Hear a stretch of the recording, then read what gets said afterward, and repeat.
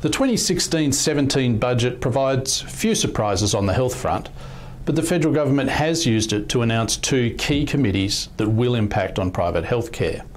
The committees on health insurance and prostheses will shape a great deal of discussion for the next three years.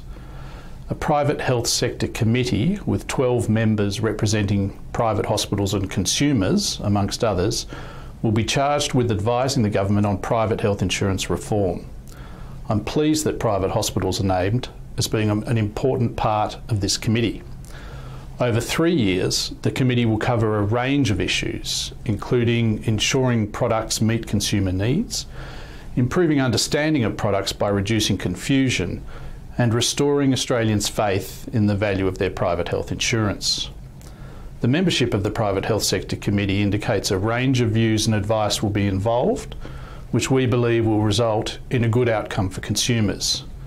Including industry specialists and consumer expertise will mean that reforms can be developed through consensus, delivering better outcomes without unintended consequences.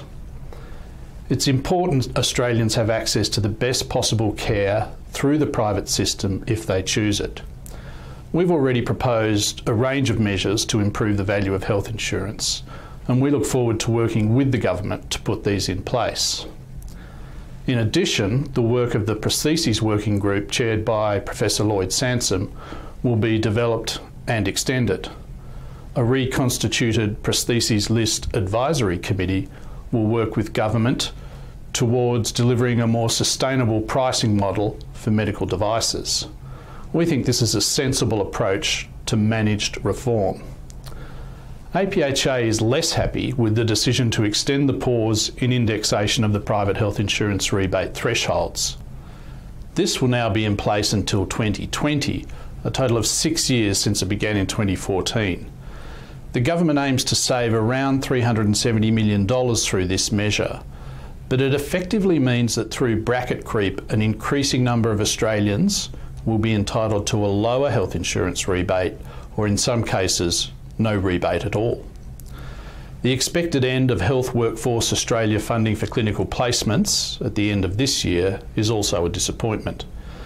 And there are some areas where we have more questions to ask, including moves to take out obsolete MBS items from the MBS schedule and the move to invest more heavily in MBS compliance.